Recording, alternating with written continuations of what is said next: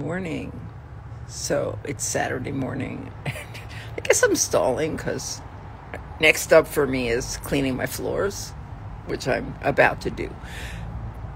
But I wanted to make sure if you're an acrylic, if you paint with acrylics like I do, I'm a fluid artist. Um, do you know how bad this stuff is for the planet, for the creatures and waters that are on this planet? Don't pour this shit down the drain.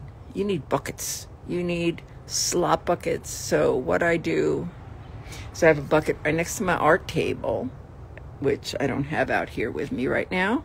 And I just throw all my tools into that bucket and then let them soak overnight. And then I bring them outside. And this is my drying station. It's a bin full of dirty water. And I just took everything out of it and put it on this towel to dry.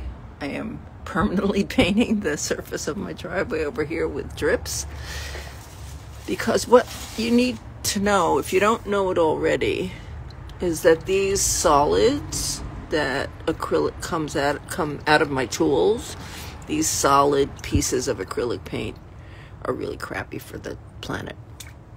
So what I do is I just let this water evaporate or it evaporates all by itself and every now and then I grab those solids, put them in a baggie with cat litter in it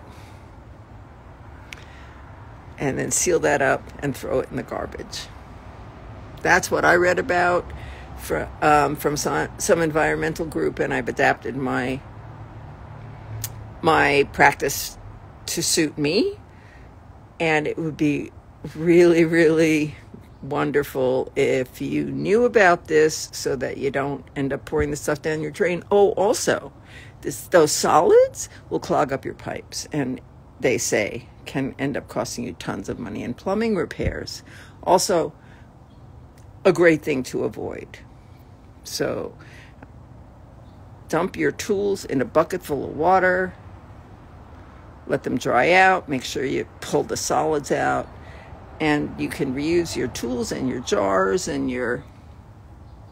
I am a big reuser. I'm a giant reuser. So I, I like to drop paint out of syringes, so I just reuse these un- until they're unusable. I reuse my strainers and I just clean out whatever it is that I decided to work with so I can lather, rinse, and repeat the next time I want to get into the studio. Which, sorry, my nose is running, which considering that I'm, um, I've got a show coming. Oh, it's July now. So next month so I'll be in the studio a lot. I just wanted to share this with you. Please let me know what you think, and if you have any questions, let me know. I will be sure to answer.